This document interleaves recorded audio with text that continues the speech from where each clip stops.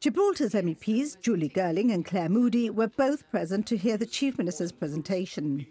Those wanting to get a fuller picture of the implications of Brexit found the differences between Scotland and Gibraltar interesting, but more importantly, having the similarities highlighted. The MEPs say they weren't surprised at the fact that Spain had the loudest voices in the room. They are always saying the same things uh, and they not going forward in any spirit of construction, constructive spirit. So that's a real shame. But I think, you know, if they continue like this, they show themselves up. It's it's so obviously that they're just seeing the situation and wanting to use it to very narrow political advantage rather than thinking about the benefit that comes from Gibraltar's position, particularly to the whole of Andalusia. And I wish they'd be a little less narrow-minded and think a bit more widely. I think it was really important today to have Fabian here to explain that Brexit is more than just you know Theresa May's speech last week or whenever you know, or the other comments that are coming, which are oversimplifying hugely what the consequences of Article 50 are.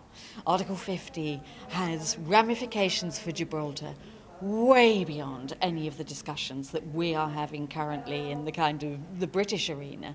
But also it's really important for the other 27 member states to hear that you know, this needs to be part of the conversations, the meetings, the negotiations that are happening around Article 50 and the future relationship, whatever that may be, between the UK and the EU.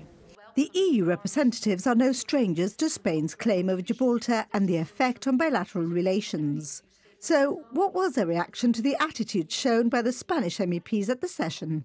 What I think they find very difficult to understand is how any of the member states, including Spain, could think that that is the single most important thing about Brexit.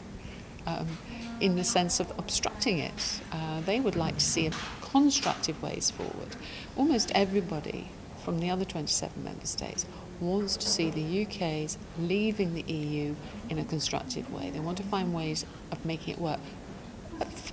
For perfectly selfish reasons, apart from anything else, uh, UK is a huge economy in Europe, a big trader with the other 27. We want to make it work. My personal perspective is that we need to look at this from the future you know, whether we would have regrets about any process. And my view is that we do not know enough yet about the consequences of Theresa May's strategy. We haven't got enough detail on what she intends to do with Article 50, and the detail we have currently, frankly, worries me. And consequently, I do not believe that we should be rushing into Article 50. but it is that, that isn't it? It's not that you don't have enough detail, because she obviously gave her speech. It's that Labour doesn't like the detail, doesn't like the single market being out of the. On the detail we have had, we have got.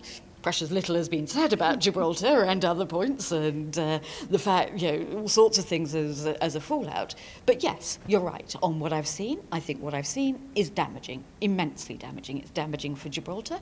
It's damaging for all of the UK.